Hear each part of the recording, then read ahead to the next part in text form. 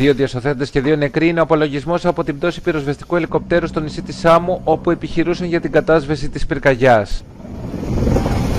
Διασωθέντες είναι ένας Ρουμάνος που εντοπίστηκε στη θάλασσα και ένας Μολδαβός που εντοπίστηκε αργά το βράδυ στην ξηρά, ενώ νεκροί είναι ο έτερος Μολδαβός χειριστής και ένας Έλληνας σύνδεσμος μεταφραστής.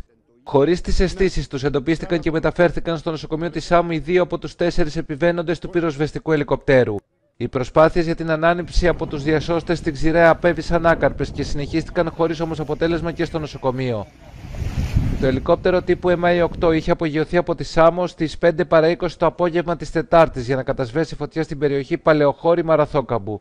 Η πτώση του στην περιοχή Πλάκα κατεγράφει περί τις 6 παρα 5 το απόγευμα.